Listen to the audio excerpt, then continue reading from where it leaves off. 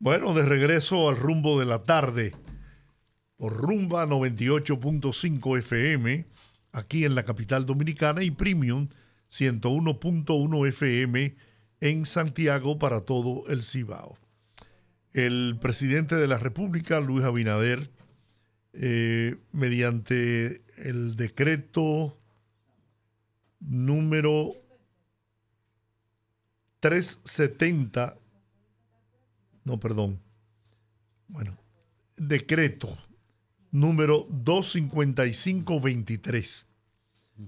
Decreto de artículo primero, Manuel Bonilla Dominich queda designado presidente del Consejo Unificado de las Empresas Distribuidoras de Electricidad en sustitución de Manuel Antonio Lara Hernández, quien renunció a la posición.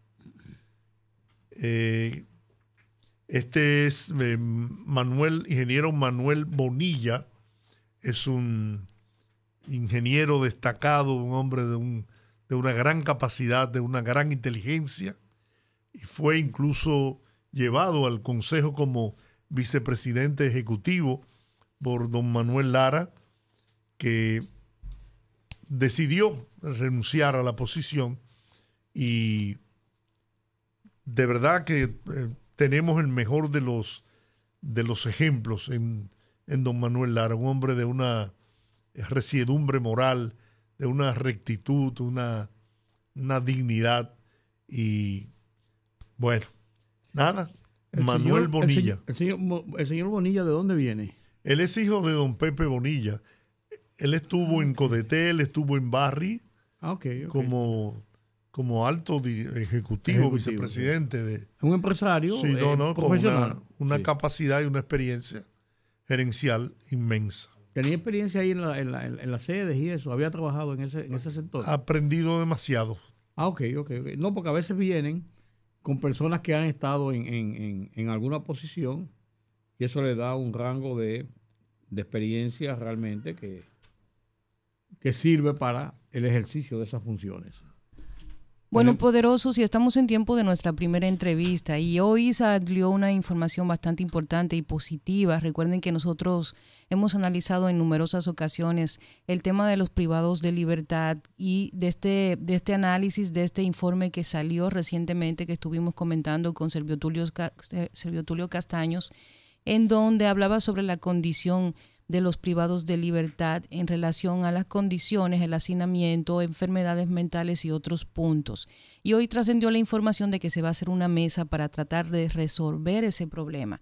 Y para hablar de este tema, tenemos, a Roberto Hernández Basilio, director general de la Dirección General de Servicios Penitenciarios y Correccionales.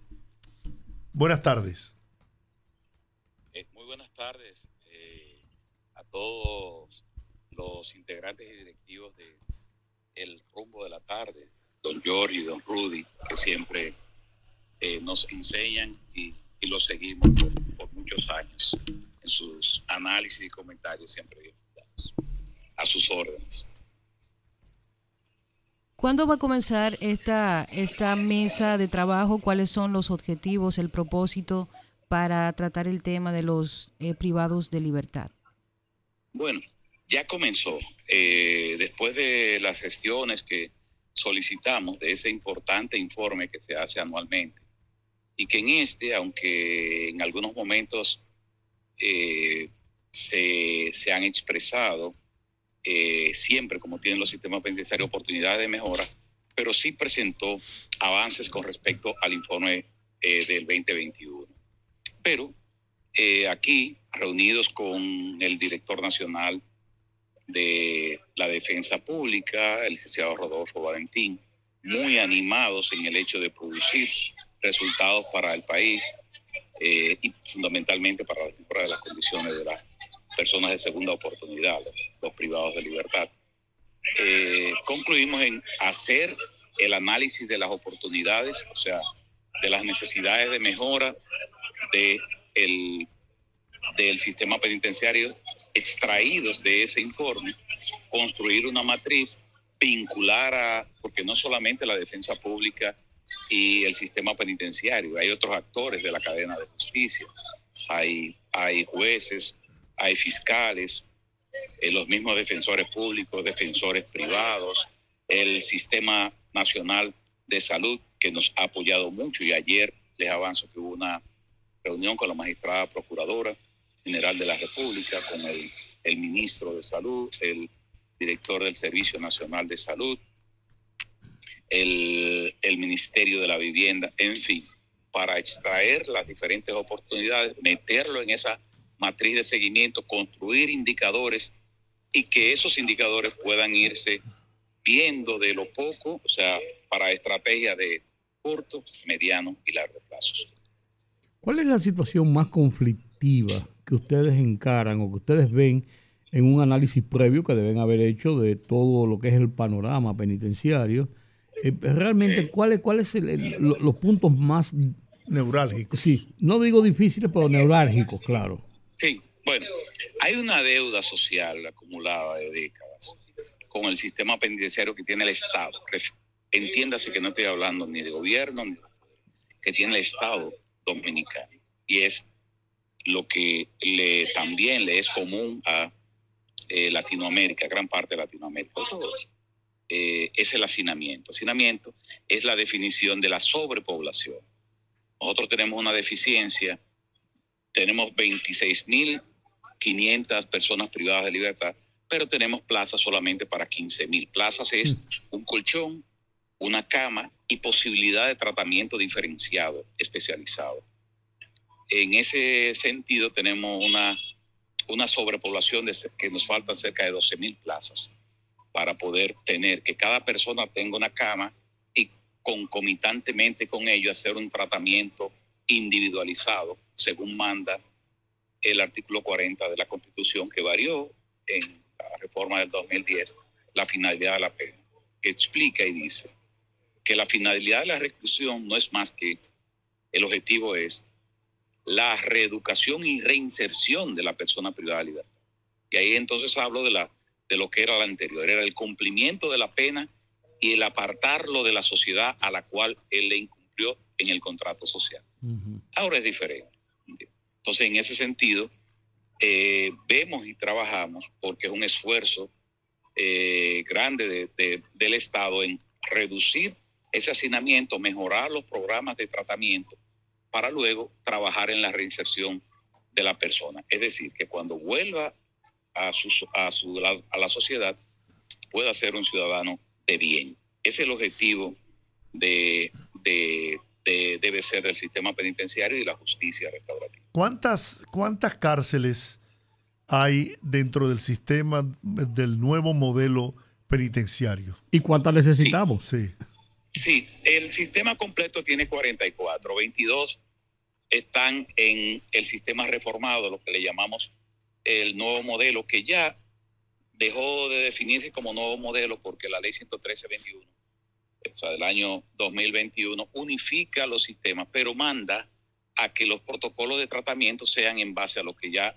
había sido éxito y ese éxito del nuevo modelo en cuanto a tratar a, las personas eh, privadas de libertad para conseguir la, reinserción. Entonces tenemos 22 eh, más, entonces queda unas 19 que están en el sistema viejo tradicional, el que tenemos que abolir, que tenemos que erradicar.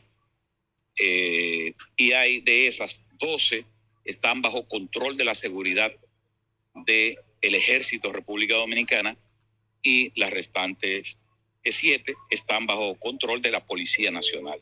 Cuando digo control hablo de la seguridad, porque el resto de las 22 están bajo la dirección completa en la estructura de eh, personas que están formadas para trabajar con personas privadas de libertad, que son los BTP, vigilantes de tratamiento penitenciario. Se ha planteado, eh, se ha planteado la solución a la terminación de la nueva cárcel de la Victoria. Bueno, eh, sí, yo puedo responderle, aunque no es competencia mía directa, porque cuando hablamos de la terminación y, los procesos, ¿qué, ¿qué, les puedo decir? El, el, gobierno eh, luego de llegar la, esta gestión de la Procuraduría General de la República, de la magistrada Miriam Germán, eh, se pasó la construcción de las cárceles, o sea, la parte de construcción de edificación, al Ministerio de la Vivienda. Entonces, ahí hay una hoja de ruta que ya tiene el Ministerio de la Vivienda para hacer las adaptaciones que ya especialistas eh, internacionales y nacionales reconocidos, como el caso del profesor Roberto Santana, nuestro maestro eh, y guía, han dicho, mira, es necesario hacer esto, hacer esto y lo otro, y entonces eso ya el Ministerio de la Vivienda tiene el rediseño. Yo no tengo eh, ni puedo revelar, pero sé que en las conversaciones en muy corto tiempo se estarían eh, trabajando para culminar en un corto o mediano plazo lo que ya está ahí. Y eso revertiría eh, para un espacio de unas 8.128 personas que se mueven los privados de libertad que están en La Victoria, Santo Domingo Norte, y eh, están ya con que cada persona tenga una cama, con un tratamiento con personas, no con policías, eh, haciéndole el tratamiento, sino con vigilantes de tratamiento penitenciario.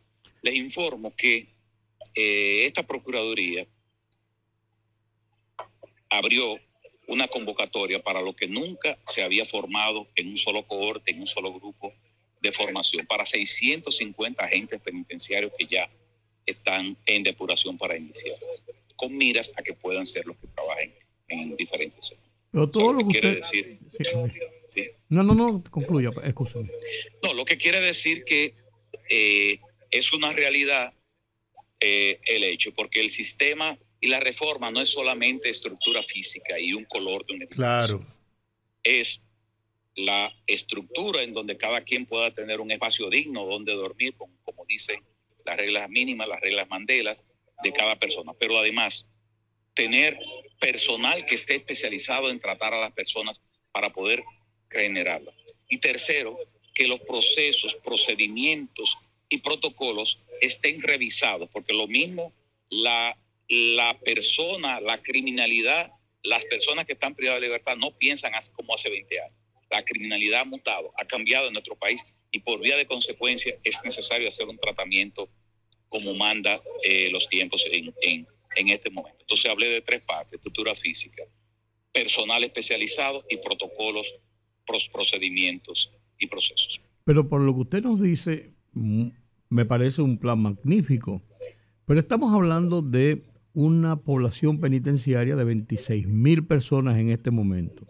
Y parece que estamos hablando del manejo de volúmenes de esta naturaleza. Pero tenemos que más de la mitad de estos son presos preventivos. Yo creo que no le oí hablar eh, así con esos detalles, de esta de solucionar ese grave problema de los presos preventivos de tantos años, porque cuando se hizo Najayo, Najayo tenía la idea específica de ser una cárcel especializada para personas en proceso de sus procesos judiciales. Pero allí se ha ligado.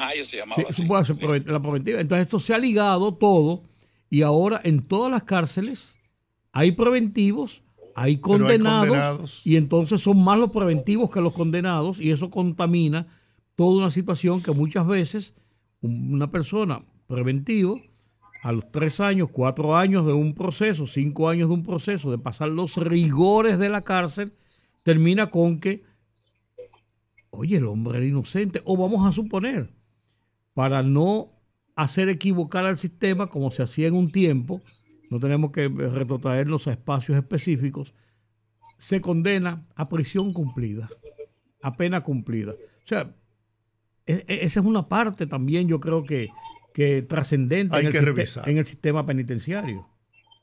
Muy bien, bueno, eh, yo soy una parte, o sea, nosotros somos una parte, una pata de la mesa, que probablemente no sea de una mesa de cuatro patas, sino de más patas.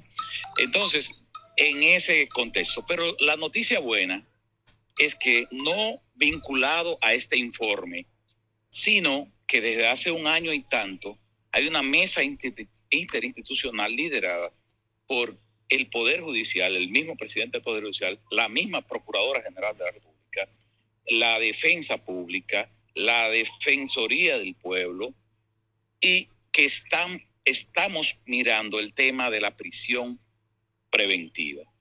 Nosotros tenemos un rol pasivo, cuando digo el sistema penitenciario, en cuanto al movimiento de la acción para poder reducir los preventivos, porque es un aspecto de eh, judicial y de Ministerio Público. Nosotros cumplimos con el mandato de la ley de resguardo de las condiciones de derechos humanos, alimentación, que, eh, salud, educación.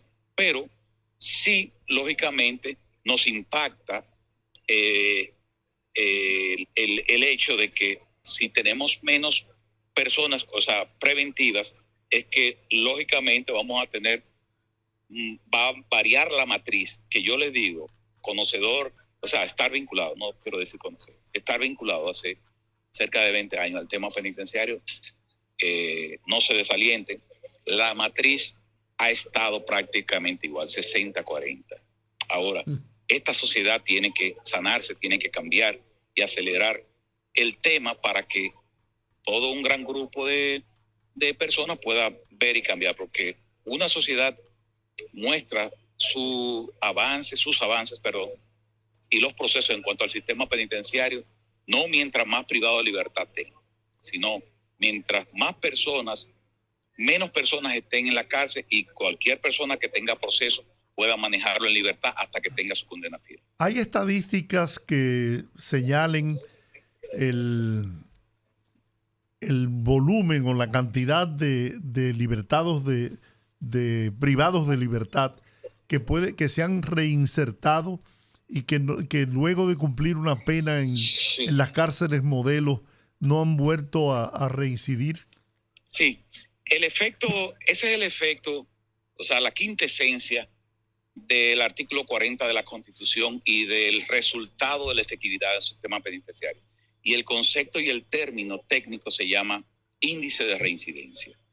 Le puedo decir, hace unos años, por aspectos de carácter de plataforma tecnológica y demás, que no me voy a, profundizar en, el tema en este momento, eh, no está siendo midiendo ahí, pero sí le puedo decir que en, lo que era el nuevo modelo, el índice de reincidencia, o sea, cuando la persona sale y vuelve a cometer un delito igual al que cometió, eh, estuvo cerca de un 6 y en otra parte un 8%. Un aspecto eh, que Naciones Unidas en el año 2011 reconoció eh, en base a una evaluación que vino e hizo una experta internacional, recuerdo su nombre, Tonris Atabay, y e hizo una proclama reconocimiento a República Dominicana y la declaró Centro de Excelencia Penitenciaria en base a nuevo modelo. Eso es un hándicap importante a mirar que sucedió en, nuestro, en nuestro país, en, en, aquel entonces. Entonces, yo les puedo decir, si, si vamos a las estadísticas de, de la ONU-DC, la Oficina de las Naciones Unidas contra las Drogas y el Delito, que países que siempre sirven de referencia para nosotros, como Estados Unidos, tienen índice de residencia de un 74%. Bueno. Bueno, pues. El, tema es, el tema es, el tema es apasionante y uno espera, incluso la, la, primera, la primera pregunta de, de, de Georgie precisamente giraba en torno al tema de la penitenciaría, por ejemplo, de la Victoria, y uno ve a veces que como que como que la voluntad parece haber, pero que las acciones no van de la mano. Entonces uno a veces se desalienta, porque si bien es cierto, y lo que dice mucha gente a veces, las cárceles no son un hotel, pero también hay que respetar la dignidad de la gente por el otro lado, porque no podemos hacer y demandar que haya respeto institucional cuando no se cumple el respeto institucional con unos y otros. y, mucho, y, mucho, menos eh, esperar el, que esa gente que ha delinquido, que han cometido errores en su vida, puedan regenerarse en un ambiente como de hacinamiento, como el que eh, existe en la mayoría de las cárceles. Claro, claro. Claro. Eh, eh, ese es el objetivo, debía ser quien, de quien el equipo que dirija el sistema penitenciario, aferrarse a las reglas y a las normas internacionales de Bangkok, de, de eh, mínima de Mandela, a nuestra ley, a la constitución que, que ve y habla sobre eso. Trabajar con un, con un esquema, con un plan, observarlo, que la sociedad tenga la veeduría necesaria, pero que acompañe además, porque el, la reclusión, la prisión, el, el proceso de hacinamiento, la reinserción, es, es un problema de el Estado dominicano, mirar hacia allá, porque si bien no se veía como eh, en muchos años, cualquiera puede caer en prisión. Cualquiera puede estar en prisión. Y lo fundamental es, y ahí quiero eh, por esa parte también expresar, es como decía la, la magistrada Miriam Germán en el momento en que nos designaba, eh, decía en esta expresión, que sus acciones privilegien la vida humana. Así es. bien. Bueno, muchas gracias Roberto Hernández Basilio, director general de la Dirección General de Servicios Penitenciarios y Correccionales, por esta eh, interesante conversación que hemos tenido, que yo tengo la seguridad ha sido de gran utilidad para nuestra audiencia. Muchas gracias, distinguidos profesores del periodismo. Muchas gracias a ti. Rudy y Yori, siempre, siempre lo he seguido por años. Muchas, gracias. Bueno, un abrazo. Igual para ti. Vamos a la pausa, las seis, dos minutos de la tarde.